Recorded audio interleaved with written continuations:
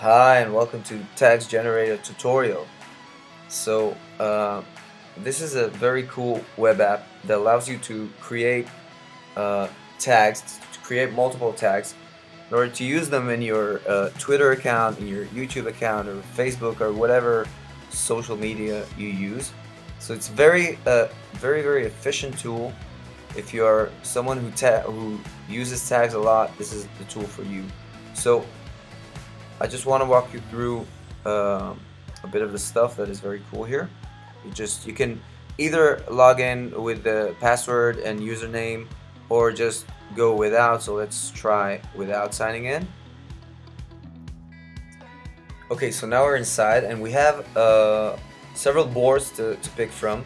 If you're interested in photography and the tags you're looking for are about photography, so you'll go to the photography board and you can find uh, all the words that are related to photography like pretty and red you can you can just click on them and you'll see them here in this area here. You can yeah let's take this one and I like that one. And you form a list of tags. And you can even see a counter here. We have eight tags. You can play with them. You can you can switch them in order. You can even erase them. You can erase every uh, every tag if you don't want to go one by one, which is pretty neat. And if you don't find any tags that uh, that you're looking for, you can just go here and add a tag. You can add dog. There it is. So now it's here.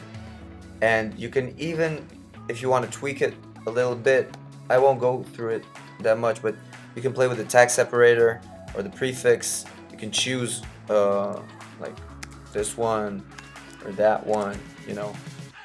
And you can even, eh, for for those that have a little trouble reading, you can play with the font size, which is kind of cool, I think. That's it. And now, once we have our list that we chose, we can even go here. We can go back and take add to the list from other boards like food.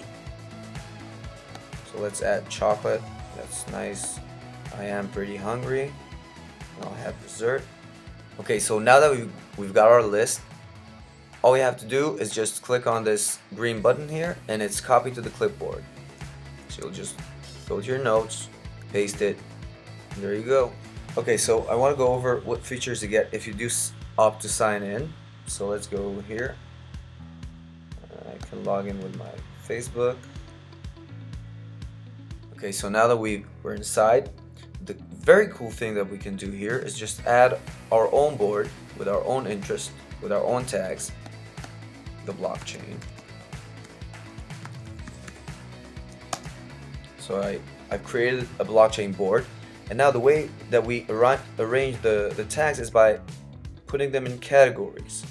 For instance, I'll go here to edit to create the categories. So the, the first one will be Bitcoin, that's a given. Now let's say the second one is um, uh, ICOs, okay? And the next one will be altcoins.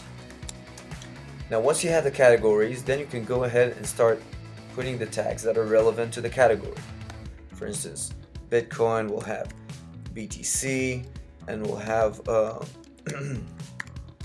Satoshi and we'll have um, uh, mining. Okay, so when we talk about ICOs, we can talk about I don't know um, Ban Bancor or Tezos. Okay, and altcoins, let's say we'll pick NEM, and we'll also pick um, let's say, I don't know, F. Okay, so when you have everything done, just click on done. That's it. It's clickable, you can add it, you can play it along with it. You can go back. Let's see, where is it? Yeah, that's the blockchain. Now, here's my board, and there's three dots here where you can delete the board Um, and that's it. So thanks for watching. I hope you enjoy this cool weather.